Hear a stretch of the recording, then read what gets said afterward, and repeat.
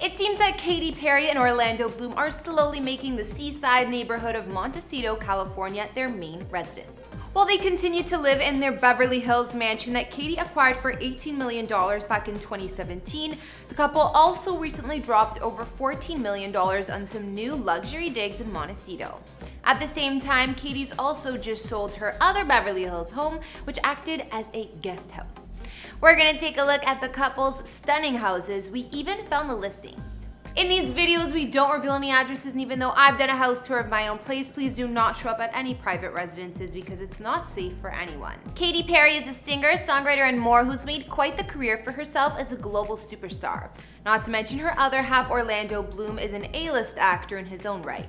Considering Katy has amassed an estimated net worth of $330 million and Orlando's is around $40 million, the pair has certainly invested in quite the real estate together. While Katy recently unloaded one of her homes in Beverly Hills, she and Orly still own a stunning neighboring mansion, which they had made some changes to since becoming parents, and also splurged on a storied 1930s estate in Montecito. Hey guys, it's Kara the Vampire Slayer back with another exclusive house tour here on Famous Entertainment. This one, checking out where Katy Perry and Orlando Bloom call home.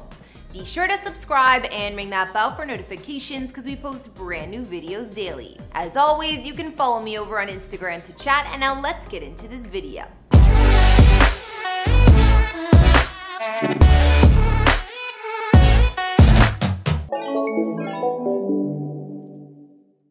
Earlier this year in spring 2021, it was reported that Katy and Orlando were slowly moving to the upscale and celeb-favored seaside town of Montecito, California, with the purchase of a sprawling compound. Montecito, California is located just east of Santa Barbara, and the couple's new property here is allegedly a sprawling 8.9 acres with multiple structures, while the entire perch has beautiful ocean views. Records show Katy and Orlando purchased the property off of a high-profile businessman, and while it was listed in 2019 at $20 million, it seems the star couple scored it for just over 14 million. The former owners kept the estate for 20 years and maintained it with the property's original spirit. It was built in 1934 and designed by Edwards and Plunkett, later extensively renovated by another architect. While we have information about Katy and Orlando's Montecito home, some sources claim the main residence is this famed Villa de Vista.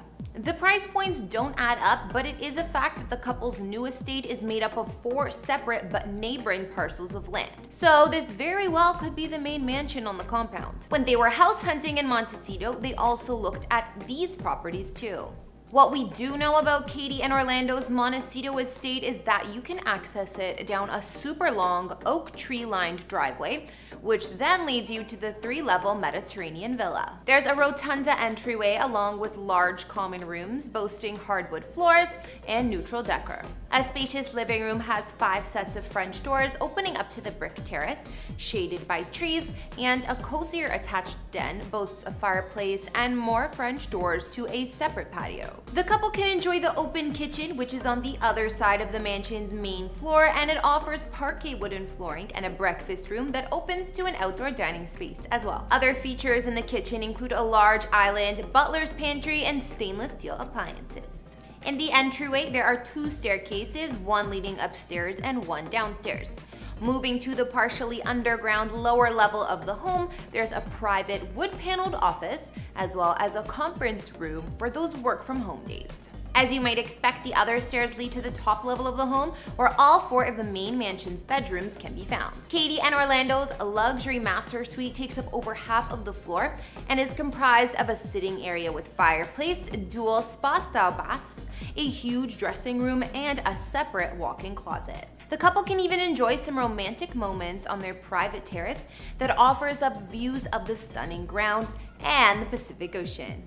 Other rooms in their new Montecito abode include a glassed-in sunroom, a family room, and of course a home movie theater, just to name a few. Elsewhere on the sprawling property, there are bonus structures all serving a different purpose, including a four-car garage with a powder room, as well as an upper-level guest house. This guest suite has everything from a full kitchen to a bedroom suite, a private office, and its own spacious living and dining area. If that's not enough, set far from the main house, there's a secluded swimming pool made with gorgeous gorgeous tiles, along with a pool house that boasts two more bedrooms and two full baths. Some other amenities at Katy and Orlando's new place include a full-size sports court, formal gardens, as well as numerous fountains. The charming property also has plenty of mountain and ocean views as well. We can catch certain glimpses of the couple settling down in the new home, and I'm sure there's more to come. For example, Orlando posed on a motorcycle in front of the arched garages at the new home, which we can see boasts a ton of space. Let's not forget that back in 2017, Katy picked up her main Beverly Hills property, which has still been serving as her and Orlando's family residence for the last few years.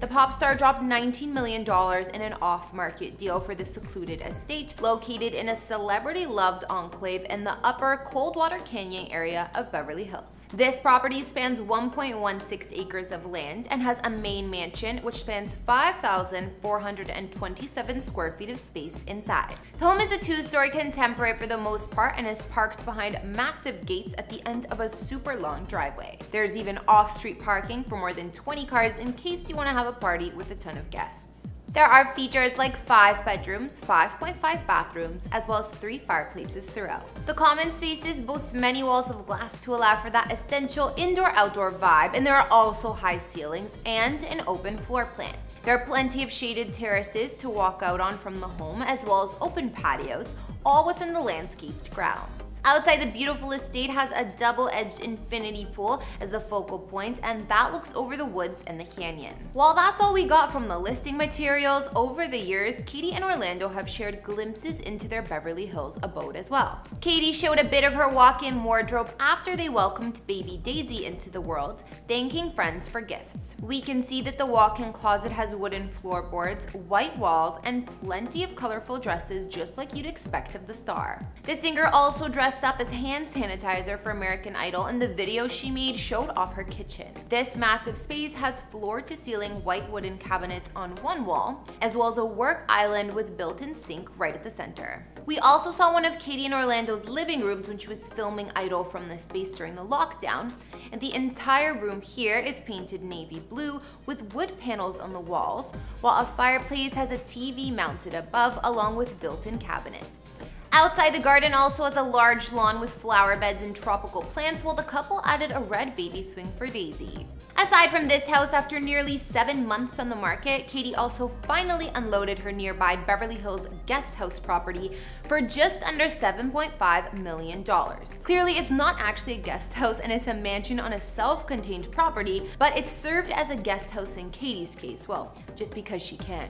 The pop star purchased the abode in 2018 for $7.45 million according to records, but it was clearly the one that got away considering she didn't make much bank on the sale. This secluded property is fully gated and located at the end of a hidden street, while the house boasts over 4,400 square feet inside with 4 beds and 4.5 baths throughout. Of course, it's in the same gated community as her main mansion here too, the celeb-loved Hidden Valley Enclave. It seems that Katy hasn't changed much about her bonus Beverly Hills home while owning it, except some minor interior changes and more modern decorations. The grounds still have the same grassy lawn, mature trees, and classic oval-style swimming pool. This home was built in 1960 as a ranch-style abode, but it seems a previous owner added an extension to change the shape, and these days there are two wings. One of the wings encompasses the master bedroom suite, while the other has an additional bedroom suite as well as an office and more. Once you enter the double doors at the front, there's a long concrete path that leads past the home's kitchen, dining room, living room, and pool before reaching the actual front door. Confusing, no? Anyways, this kitchen and family room are at opposite ends of the residence, another strange setup. Beyond the front door, there's a spacious entryway with hardwood flooring, as well as a brass chandelier and two guest rooms on the ground floor as well. The living and dining areas both have fireplaces, while the eat-in kitchen boasts stainless steel appliances. The main master retreat is made up of a bedroom, private balcony, sitting room, two walk-in closets, and a large master bath with steam shower and soaking tub. And for another bonus, there's a loft-like second floor above the garage in the property, which acts as a living room. It also has a spare room that could be used as another sleeping quarter or a studio. Now that we've taken a look at Katy Perry and Orlando Bloom's luxury homes, I think that concludes our house tour. That was some expensive California real estate to say the least. We looked at what we know about their new compound in Montecito, where it appears they're moving to, as well as their main mansion in Coldwater Canyon, and the guest house that Katy just sold. After checking out those homes, did you guys have a fave? While they're all nothing short of impressive, I gotta see the Montecito one is probably the most charming and special out of the three. Just by the sounds of it and what we can see of the property, it looks like a fairy tale. Be sure to let me know what you liked or didn't like about Katy and Orlando's homes down in the comments. Thanks for watching. Don't forget to follow me on Instagram to chat, and I will see you all in the next video. Bye!